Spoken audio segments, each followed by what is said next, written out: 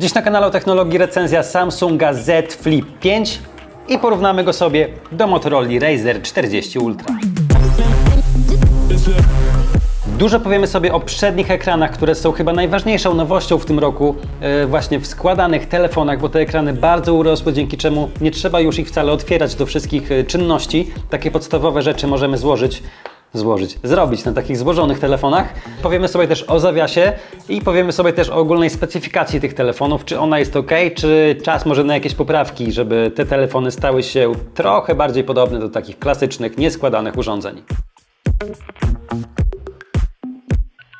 Ale zanim to wszystko, to czas na partnera naszego dzisiejszego odcinka, którym jest sieć Plus. Bo chcę Wam powiedzieć, że w Plusie niedawno uruchomiono sieć Plus 5G Ultra. I czym jest ta sieć 5G Ultra? Czy to jakaś zupełnie nowa generacja? No przydomek Ultra od razu mówi, że mamy do czynienia po prostu z czymś lepszym, z czymś ponadpodstawowym i tak właśnie jest w tym przypadku. I standardowa sieć Plusa 5G y, y, oferuje transfery z szybkością do 600 megabitów na sekundę, ale sieć 5G Ultra jest jeszcze szybsza, bo tutaj maksymalny transfer to jest 1 gigabit na sekundę, czyli tu już mamy zupełnie takie naprawdę światłowodowe prędkości, a jednak można takie prędkości mieć na sieci mobilnej. I sieć 5G Ultra to jest obecnie najszybsze 5G, jakie możemy mieć w Polsce.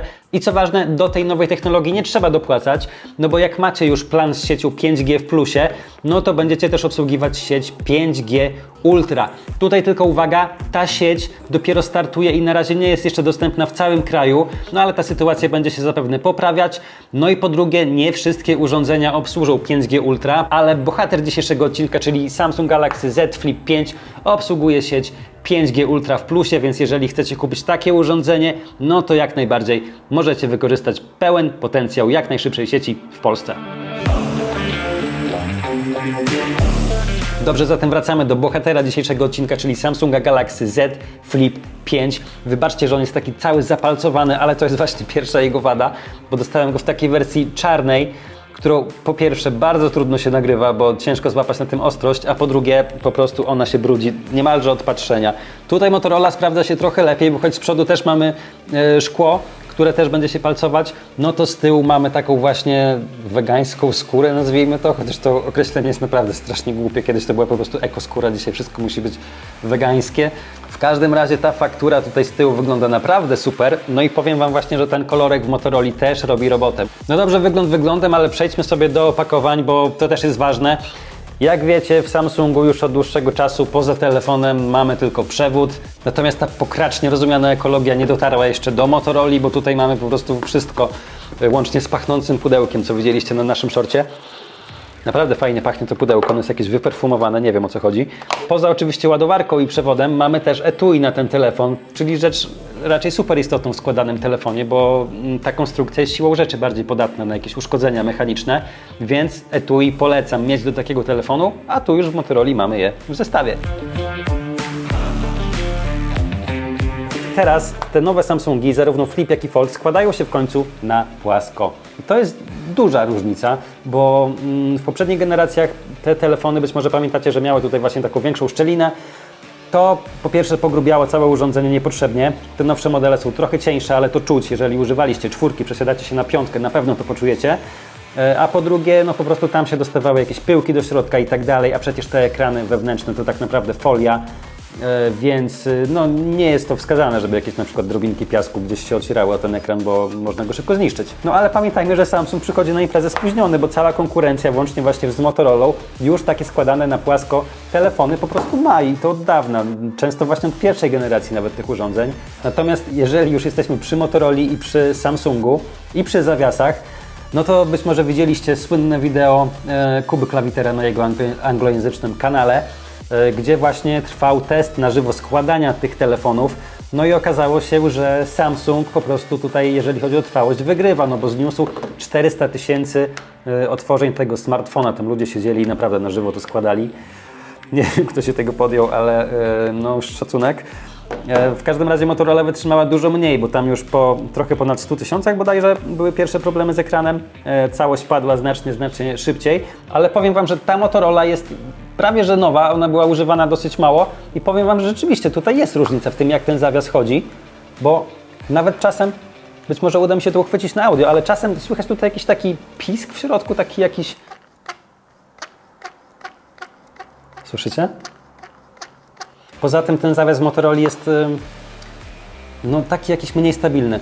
Też teoretycznie możemy go zostawić pod każdym kątem, ale są takie kąty, które trzymają się trochę gorzej niż, niż inne. Natomiast w Samsungu, jak ustawimy ten telefon, tak on się będzie trzymał. Czy to będzie taki kąt, czy nawet zobaczcie taki, czy trochę y, większy, czy taki właśnie 90 stopni, czy jeszcze większy.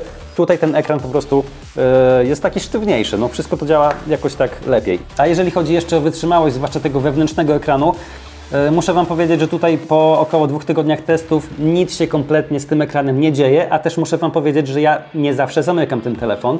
E, czasem bywało, że jakoś w formie złożonej on nie był tak super wygodny w kieszeni, więc wolałem go nosić e, po prostu w takiej otwartej pozycji jak zwykły telefon. Kilka razy mi się to zdarzyło.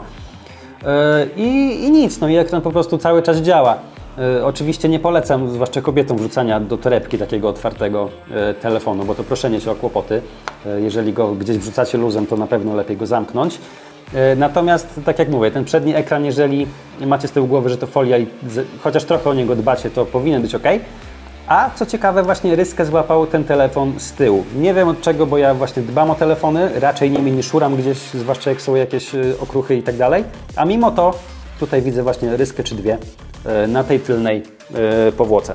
Jeszcze taka ciekawostka co do zawiasu, bo okazuje się, że wewnątrz tej konstrukcji jest tak dużo magnesów, że ten telefon świetnie współpracuje z MagSafe'em e, czyli z tym standardem ładowania magnetycznego u Apple'a. Jeżeli macie jakąś ładowarkę MagSafe do iPhone'a, e, to też naładujecie nią właśnie tego Samsunga bezprzewodowo, to się będzie trzymać. To nie jest celowo zrobione, żeby działało z MagSafe'em, bo ten telefon nie leży prosto na ładowarce, tylko jest tak trochę kopnięty w bok, ale jednak trzyma się na magnesie, więc jeżeli jakoś go tam szturchniecie, to on nie spadnie. teraz w tym roku ten zewnętrzny ekran jest dużo bardziej użyteczny, bo mamy tutaj właściwie taki zminiaturyzowany interfejs smartfona. I też chcę, żebyście to dobrze zrozumieli, bo na tym przednim ekranie nie mamy takiego pełnego interfejsu Androida. E, mamy tu co prawda dostęp do powiadomień, mamy też dostęp do szybkich ustawień. E, to wygląda podobnie jak na otwartym ekranie, ale nie tak samo. No i mamy też coś na kształt takich jakby widgetów, jeżeli ekran przewijamy na boki, ale jest też bardzo prosta i oficjalna metoda, na e, wyświetlenie na tym przednim ekranie wszystkich aplikacji, jakie tylko chcecie ze smartfona. Trzeba w tym celu zainstalować aplikację Good Lock ze sklepu Samsunga. Także możemy zrobić właściwie wszystkie rzeczy na przednim ekranie, no ale nie, nie, wszystkie powinniśmy, bo nie wszystkie są wygodne. Ba, wręcz większość jest niewygodna, bo na przykład bez sensu jest dla mnie przewijanie Twittera czy czytanie czegokolwiek na tym małym ekranie, skoro mogę otworzyć telefon i przeczytać E, coś na tym większym, pełnowymiarowym panelu. Także świat technologii się zachwycił, że wow, że jest sposób na dodanie tych wszystkich aplikacji do przedniego ekranu, ale mówię Wam, że to w praktyce nie ma żadnego sensu. Być może takim wyjątkiem jest tylko Messenger, ale to też tak trochę na siłę. Natomiast ten przedni ekran jest jak najbardziej użyteczny do takich podstawowych rzeczy, które chcemy sprawdzić na telefonie, czyli na przykład właśnie powiadomienia, sprawdzenie pogody, sprawdzenie czegoś w kalendarzu, E, ustawienie jakiegoś budzika, czy na przykład, nie wiem, timera, bo w kuchni coś gotujecie. Takie podstawowe rzeczy spokojnie ogarniecie na tym przednim ekranie i to będzie bardzo wygodne. Z kolei w Motorola to jest jeszcze bardziej rozbudowane. Tutaj też co prawda nie mamy takiego pełnego Androida, tylko jakiś taki interfejs y, zaprojektowany zupełnie y, od podstaw. Trzeba się trochę go nauczyć, tak samo jak w Samsungu. Natomiast to trochę inaczej działa w obu smartfonach, bo w Motorola cały ten pasek, na wysokości którego są obiektywy, jest po prostu wycięty z tego smartfona. Tutaj mamy tylko dostęp do szybkich ustawień, a sama aplikacja wyświetla się wyżej. Natomiast w Samsungu no jest inaczej, bo aplikacje wyświetlają się właśnie na całym tym ekranie. On nie jest zupełnie kwadratowy, bo ma to wycięcie, ale jednak zajmują dzięki temu więcej miejsca. Jeszcze z takich e, uwag e, Motorola kontra Samsung. W Samsungu możemy mieć i na przednim, i na wewnętrznym ekranie Always On Display, czyli możemy po prostu zawsze wyświetlać godzinę, powiadomienia, datę, jakieś takie podstawowe rzeczy. Natomiast w Motorola tego zupełnie nie ma. Nie mamy w ogóle Always, always On Display. Żeby coś na nim wyświetlić, na tym telefonie, kiedy on leży, musimy po prostu go puknąć albo podnieść. Podzespoły, czyli kolejna część tego filmu. Powiedzmy sobie o tym, co te telefony mają w środku, a mają dużo dobrego. Mamy tu oczywiście takie sztandarowe bebechy. W Motorola co prawda mamy procesor ubiegłoroczny, w Samsungu już mamy tegoroczną wersję tego e, procesora Snapdragona 8, to jest generacja druga, jeszcze e, w wersji dla Galaxy, czyli taka trochę podkręcona. I tutaj muszę Wam powiedzieć, że troszeczkę się rozczarowałem właśnie tym Samsungiem. Dlaczego? Bo ja pamiętam przesiadkę z serii S22 na S23 i tam przejście z Exynosa właśnie na tego Snapdragona najnowszego to była jakaś petarda. Tutaj w składanym flipie aż tak tego nie widać. No i dlaczego? Dlatego, że Samsung w składakach już rok temu stosował również w Polsce właśnie procesory Snapdragon. I choć te procesory są rzeczywiście trochę bardziej energooszczędne, to tak naprawdę ja wcale nie widzę dłuższego czasu pracy tego smartfona. Ba, powiem więcej, wydaje mi się, że on nawet potrafi działać niekiedy trochę krócej niż Flip 4. Dlaczego tak się dzieje? Wydaje mi się, że tu problemem może być właśnie ten przedni ekran, który jest po prostu większy. Ja też częściej go siłą rzeczy używam. Jest to ekran, który ma 60 Hz i on nie potrafi zejść do 1 Hz. Więc tak jak mówię, no w baterii nie ma szału, naprawdę. Czasami ciężko dojechać do końca dnia. To nie jest poziom taki, jaki oferują właśnie smartfony, takie zupełnie płaskie. No i to też wynika z małego ogniwa, bo tutaj mamy tylko 3700 mAh. To dotyczy też właśnie Motorola. Tu mamy ten sam problem. Tu mamy co prawda 3800 mAh, no ale to niewielka różnica. Takie typowe smartfony potrafią mieć przecież po 5000. No i do tego ładowanie, no niestety jest dosyć wolne. W Samsungu 25 W przewodowo, w Motorola 30, czyli no tylko troszeczkę lepiej.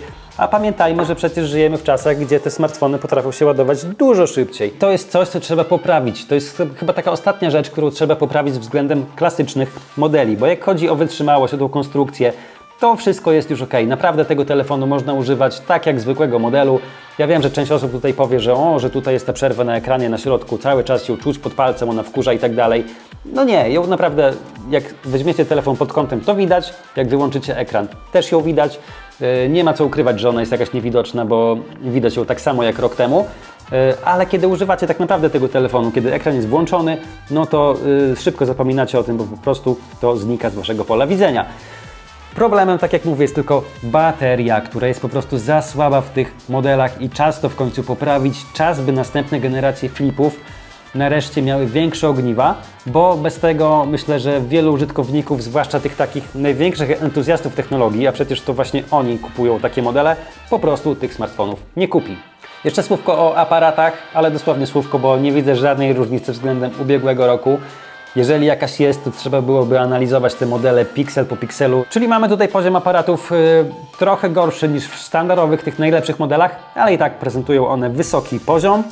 Y, z takich minusów niezrozumiałych dla mnie w Samsungu Flipie 4 nadal nie ma nagrywania w 60 klatkach w 4K na najszerszym obiektywie. Nie wiem dlaczego y, jest takie coś, szczególnie w tej półce cenowej.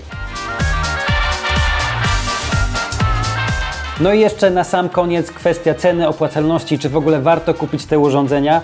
Samsung Galaxy Z Flip 5 uważam, że jest chyba na ten moment najciekawszym składanym modelem na rynku, co wcale nie oznacza, że jest najlepszym.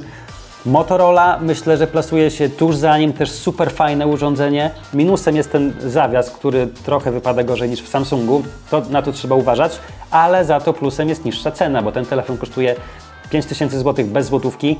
Samsung to już poziom 5600 zł. Z alternatyw ciekawych mamy jeszcze Oppo Find N2 Flip. Też kosztuje 4999 zł, tak jak Motka. I też ma z przodu duży, fajny ekran, e, na którym nie odpalimy wszystkich aplikacji na zewnątrz, ale ten ekran też robi robotę. No dobrze, ale czy Samsung jest aż o tyle lepszy, żeby dopłacić do niego 600 zł względem Motorola? I tak i nie, bo powiem Wam, że w takim codziennym działaniu Motorola wy wypada w sumie tak samo dobrze jak Samsung, nawet może lepiej z uwagi na to oprogramowanie, które jest naprawdę fajne w Motorola. Natomiast Samsung wydaje mi się wyborem takim bardziej przyszłościowym z uwagi właśnie na ten zawias, który po prostu wytrzyma więcej. E, jeżeli zamierzacie używać go naprawdę długo, no to weźcie Samsunga. Ale jeżeli jesteście użytkownikami, którzy co roku przeskakują na nowsze modele, to i tak nie zajedziecie tej Motorola. Więc uważam, że jeżeli e, często zmieniacie telefony, Motorola jest bardzo dobrym wyborem, no i jest też po prostu telefonem tańszym. No i to tyle. Dziękuję za Waszą uwagę, dziękuję, że dotarliście do tego momentu w filmie. E, przed Wami jeszcze recenzja Folda 5, czyli tego drugiego składaka, którą przygotuje Wam Dawid. Dawid używa tego telefonu właśnie już od dłuższego czasu. E, jeżeli nie chcecie jej przegapić, to zasubskrybujcie ten kanał i zostawcie nam też łapkę w górę. Być może nawet dajcie dzwoneczek, żeby nie przegapić żadnego materiału. A jak dotarliście do samego końca, to mam dla Was nasze klasyczne badanie statystyczne. Napiszcie duży przedni ekran, ja wtedy będę wiedział, że obejrzeliście ten materiał do końca. No i co? Widzimy się w kolejnych materiałach ze mną lub z Dawidem. Hej!